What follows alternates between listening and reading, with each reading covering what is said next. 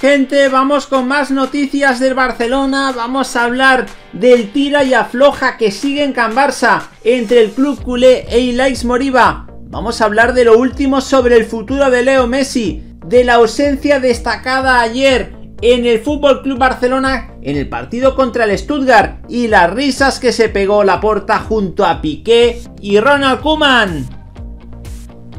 Vamos a ello.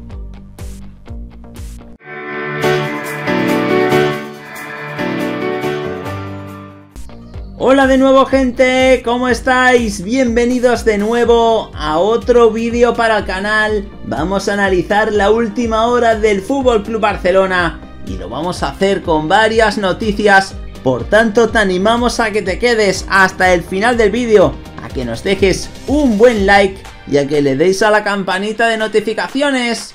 Vamos sin más dilación analizar la primera noticia. Vamos concretamente con dos noticias sobre el caso likes. Y es que este caso aterrizó en Barcelona de forma sorprendente. El canterano que con el paso de las jornadas en la anterior temporada cogió importancia en el primer equipo, decidió mejorar sus condiciones actuales en el equipo y abrió el telón de un culebrón que sigue muy vivo en la entidad y es que el futbolista debido a esta situación se quedó fuera de la expedición de la plantilla para viajar a Alemania, donde Kuman y los suyos completan la pretemporada, una fase de preparación que tuvo otro capítulo este sábado cuando los culés golearon al Stuttgart, lo comentemos en el vídeo anterior. Las últimas informaciones de Mundo Deportivo aseguraron que el club le puso sobre la mesa una nueva oferta de renovación a la cual no contestó el jugador, decisión que creó incertidumbre en una directiva que ha dicho basta. Ahora es el diario Marca el que contextualiza la coyuntura en la ciudad condal.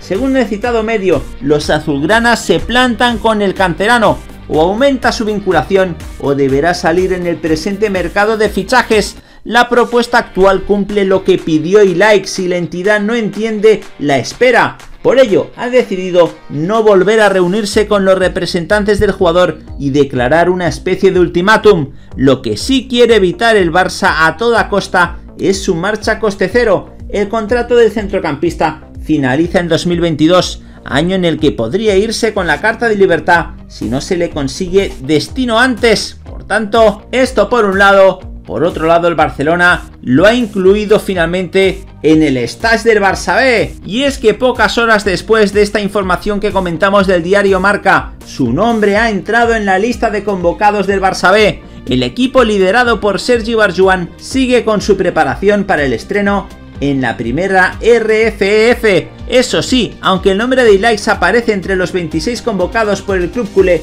el joven mediocentro podría quedarse sin minutos en los próximos amistosos de pretemporada y limitarse únicamente a entrenar con sus compañeros hasta que se resuelva su situación. Al mismo tiempo, el club azulgrana también ha informado de que Kais Ruiz es baja de última hora para el inicio de la estancia en el Valle de Bas, debido a una indisposición digestiva. Su evolución marcará su disponibilidad para los próximos días, así lo dijo el Barcelona en un breve comunicado. Y es que aquí podéis ver el tweet del Barcelona B en el que incluye a Ilaix Moriba en esta convocatoria. Vamos ahora a hablar de Leo Messi y su vuelta al trabajo con el Fútbol Club Barcelona. Desde el 30 de junio Messi que es libre, oficialmente no tiene equipo, aunque es bien sabido que lleva tiempo negociando con el Barça una renovación. El Barça trabaja en posibles salidas para liberar masa salarial. El objetivo no es otro que poder inscribir a Messi cumpliendo las normas que dicta la liga sobre el fair play financiero. Y hasta que Messi no estampe su firma en un nuevo contrato, afirma Mundo Deportivo no se entrenará junto a sus compañeros no lo pretende el club y tampoco lo tiene en mente el propio Messi. Hasta que el Barça no le haga una propuesta formal y Messi la firme, no habrá rastro del 10 en las instalaciones del Barcelona. Habrá que esperar, por tanto, para ver al Rosarino ejercitándose a las órdenes de Ronald Koeman. El último en hablar sobre la renovación de Messi fue Javier Tebas, presidente de la liga, que dijo lo siguiente, todo depende del Barça, ya conocen las normas, porque en el organismo que dirige el fútbol español tienen claro que no van a hacer excepciones y van a revisar en profundidad que el Barça cumpla con el reglamento. Y es que han habido informaciones que hablaban que esta próxima semana, a partir del 4 de agosto, podría entrenarse incluso Messi sin ser jugador del Barcelona, pero habrá que esperar. Por ahora no hay fecha. Vamos ahora a hablar de la porta que estuvo charlando en la concentración de Alemania con Kuman y con Gerard Piqué. La Porta ya está junto a la plantilla y el cuerpo técnico del Barça en su concentración en Alemania. El grupo se vio las caras con el Stuttgart en un primer envite que se resolvió satisfactoriamente para los azulgrana y en el segundo ante el Salzburgo los futbolistas contarán con la presencia del presidente. Lo primero que hizo al llegar fue visitar a los jugadores y a Ronald Koeman. El propio club compartió fotografías de su paso por las distintas salas del complejo en el que se encuentran los culés como cuartel general. Se le pudo ver de risas con el técnico neerlandés o con Gerard Piqué, dos figuras con las que se entiende a las mil maravillas. También tuvo tiempo de saludar a los más jóvenes y de transmitirles su confianza.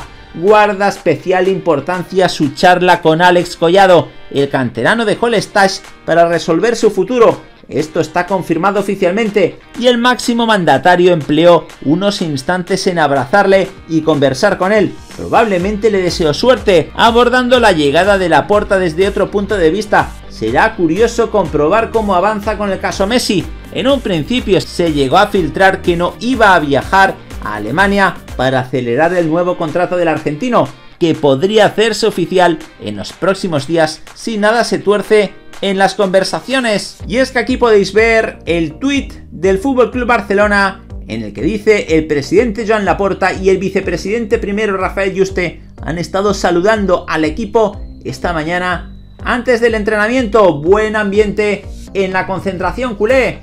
Vamos a hablar ahora de una ausencia destacada en los planes de Kuman que ha sorprendido a todos. El mister de los azulgrana ha podido agregar más piezas para sus planteamientos en el césped, aunque no todos los que podían sumar sus primeros minutos de cara a la pretemporada lo hicieron en la cita ante el Stuttgart. El técnico holandés mostró su gran confianza en el central uruguayo Ronald Araujo, en Sergio Busquets y Jordi Alba. Con estos tres jugadores acordó que jugarían media hora, aunque el uruguayo salió unos minutos antes de lo que había planeado a causa de una lesión que sufrió Kilimen Lenglet. Por esto, el técnico no quiso arriesgar al defensor francés. El defensor charrúa es un futbolista que durante el pasado curso llegó a contar con las oportunidades y minutos que le dio Kuman, aunque el fichaje del central español Eric García es un hecho que hará que tenga más competencia dentro del equipo. El centrocampista Sergio Busquets y el defensor Jordi Alba son indiscutibles en su esquema táctico. Ambos son de larga trayectoria dentro del combinado catalán y a los dos Kuman los ha defendido en todo momento. En cambio, algo que no ha pasado desapercibido es el hecho de que Martin Bradwhite, el cual se incorporó al mismo tiempo que el resto de los futbolistas mencionados, no se haya incorporado desde el inicio de la pretemporada para tener minutos en el césped. Kuman arrancó con Griezmann de 9 y volvió a darle minutos a Rey. Posiblemente el danés juega ante el Salzburgo, ya que se encuentra en el mercado. El delantero de Dinamarca figura entre aquellos futbolistas que suenan para salir del club el Barça necesita reducir la masa salarial para poder inscribir los fichajes que ya tiene en su lista, cerrar la renovación de Messi y cumplir los lineamientos del fair play financiero y Bradway sería uno de los que podría salir próximamente. Por tanto chicos, ausencia de Bradway ayer contra el Stuttgart. Vamos a ver en el próximo partido ya para acabar. Vamos a hablar del ofrecimiento de Méndez al Barça con Rafa Mir. En Tokio todas las miradas van para Rafa Mir. Gracias a él España se metió en las semifinales tras vencer por 5-2 a Costa de Marfil hizo un hat-trick que su agente piensa aprovechar. Informa Sport de que Jorge Méndez le ha puesto sobre la mesa al Barça la opción de hacerse con el atacante de los Wolves. El agente cree que podría aportar mucho al equipo azulgrana. Según este medio, el Barça ya tuvo la opción de fichar a Rafa Mir hace unos meses.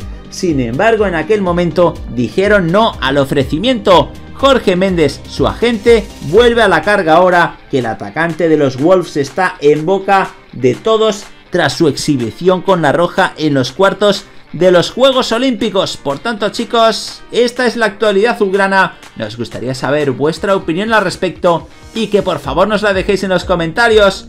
justo debajo de este vídeo. Nada más por el momento, como siempre animaros a que os suscribáis al canal para seguir viendo todos nuestros vídeos.